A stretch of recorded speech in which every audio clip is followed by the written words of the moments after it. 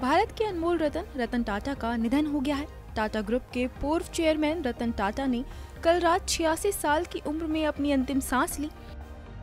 बुधवार 9 अक्टूबर को रात 11 बजे रतन टाटा का मुंबई के ब्रीच कैंडी अस्पताल में निधन हुआ। जहाँ आज उन्हें राजकीय सम्मान के साथ अंतिम विदाई दी जाएगी तो उनके यूँ दुनिया छोड़कर चले जाने से पूरी दुनिया को गहरा सदमा लगा है।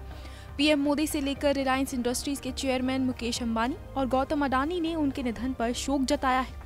रतन टाटा के निधन से बॉलीवुड जगत में भी गम का माहौल है। कई स्टार्स ने उन्हें सोशल मीडिया के ज़रिए श्रद्धांजलि भी अर्पित की है। तो वहीं रतन के निधन से सबसे ज़्यादा दुख पहुँचा है हिंदी सिनेमा के गुजरे दौर की अभिनेत्री सिमी ग्रेवाल को। एक्स गर्लफ्रेंड, खास दोस्त और एक्ट्रेस सिमी ग्रेवाल को रतन टाटा के निधन से बड़ा झटका लगा है। सिमी ने भावभीनी श्रद्धांजलि उन्हें दी है। सिमी ने अपना दुख व्यक्त करने के लिए सोशल मीडिया का सहारा लिया और अपने टॉक शो से रतन टाटा के साथ एक पुरानी तस्वीर साझा की, जिसके साथ उन्होंने लिखा, वो कहते हैं कि तुम चले गए, तुम्हारा चले जाना, सहन करना बहुत कठिन है, बहुत कठिन, अलविदा मेरे दोस्त। बता दें कि एक दौर था जब रतन टाटा और सिमी ग्रेवाल एक दूसरे संग रिश्ते में थे। दोनों के प्यार की खबर से जमाना वाकिफ था।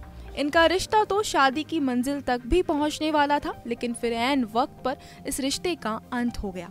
दोनों शादी के बंधन में बनने से पहले ही एक दूसरे से अलग हो गए, जिसके बाद रतन ने ज़िंदगी भर शादी नहीं की। दूसरी तरफ़ सिम्मी ने दिल्ली में जन्मे चुन्नामल वंश के कुलीन रवि मोहन से शादी कर ली थी। हालाँकि उन्नीस में वो भी अलग हो गए। वहीं प्यार का रिश्ता खत्म होने के बाद भी ये दोनों एक दूसरे के अच्छे दोस्त बने रहे थे, लेकिन अब रतन के जाने से इस दोस्ती के रिश्ते में अब सिर्फ़ सिमी रह गई हैं।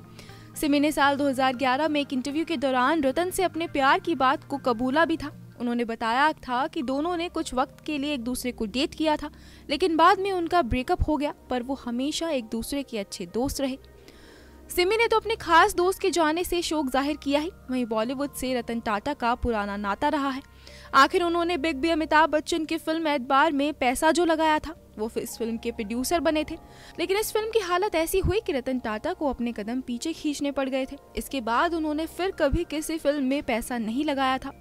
तो अब उनके इस दुनिया से जाने के बाद बॉलीवुड सेलिब्स ने भी उन्हें नम आँखों से याद किया है।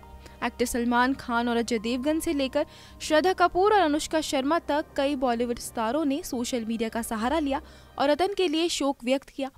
अजय ने अपने एक्स हैंडल पर रतन के लिए पोस्ट किया। सुष्मिता सेन ने शोक जताते हुए अपनी इंस्टाग्राम स्टोरी पर लिखा, कितने सम्मानित व्यक्ति थे। ईश्वर उनकी आत्मा को शांति दे। एक्ट्रेस तारा सुतारिया ने भी रतन टाटा को श्रद्धांजलि देते हुए इंस्टाग्राम स्टोरी पर पोस्ट लगाया है। इस लिस्ट में अनन्या पांडे भी हैं, जिन्होंने रतन टाटा की स्टोरी लगाई है। वहीं फ़िल्म मेकर करण जौहर ने इंस्टाग्राम की स्टोरी पर रतन टाटा को नमन किया। Bureau report E twenty